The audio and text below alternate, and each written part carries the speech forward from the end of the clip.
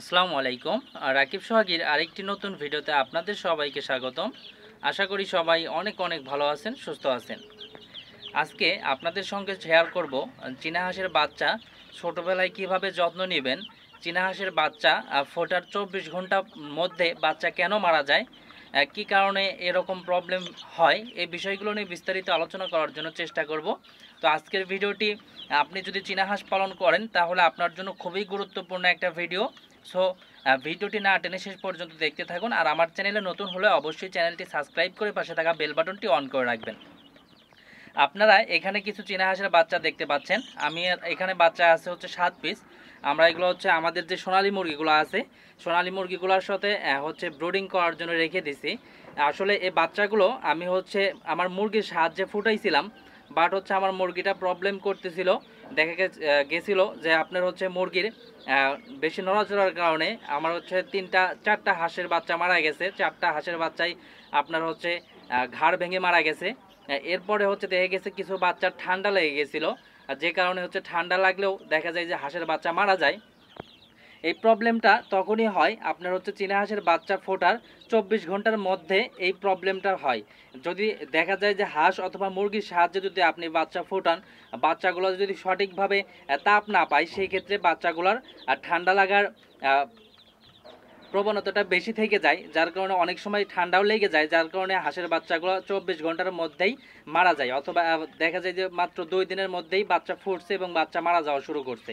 এই সময় আপনারা যে কাজটি করতে পারেন, যেভাবে বাচ্চাগুলো সেফ রাখতে পারবে, পারেন, একটা বাচ্চাও মারা যাবে না। সে কাজটি হচ্ছে, আপনি খেয়াল করে দেখবেন, আপনার হাঁসটা যদি অথবা মুরগি যদি সঠিকভাবে তাপমাত্রা দেয়, তাহলে তো কোনো প্রবলেম নাই। আর যদি তাপমাত্রা সঠিকভাবে না দেয়, সেই ক্ষেত্রে আপনারা যে কাজটি করবেন, এই বাচ্চাগুলোকে পঁচিশ পাওয়ারের বাল্ব অথবা হচ্ছে পঞ্চাশ পাওয়ার মানে ওয়ার্ডের বাল্ব পাওয়া যায়। এই বাল্বগুলো দিয়ে আপনারা সুন্দরভাবে হাঁসের বাচ্চাগুলো ব্রুডিং করবেন।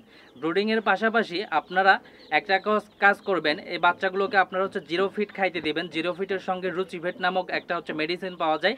এই রুচিভেটটা এক কেজিতে এক গ্রাম মিশিয়ে খাবারের সঙ্গে দিবেন। পাশাপাশি লাইসোভেট নামক আর একটা মেডিসিন আছে। এটা হচ্ছে এক লিটার পানিতে এক গ্রাম। এই লাইসোভেটটা হচ্ছে আপনারা পানিতে মিশিয়ে দেবেন। এইভাবে তিন চার দিন কন্টিনিউ করলে ইনশাল্লাহ তিন চার দিন যদি বাচ্চা টিকে থাকে, তাহলে আপনার একটা বাচ্চাও নষ্ট হবে না। তো আমরা হচ্ছে যখন দেখলাম যে হাঁসের বাচ্চাগুলো একটু ঠান্ডা লাগছে, তখন হচ্ছে আমরা মূলত এই বাচ্চাগুলো নিয়ে এসে আমরা হচ্ছে এই যে সোনালি, আমার এগুলো হচ্ছে সোনালি একশো পিস মুরগি নিয়েছিলাম। সেখানে হচ্ছে আমাদের দুইটা বাচ্চা মারা গেছে। এখনও অষ্টানব্বই পিস বাচ্চা রয়েছে। তো এই বাচ্চাগুলোর সঙ্গে আমরা হচ্ছে ব্রুডিং করতেছি।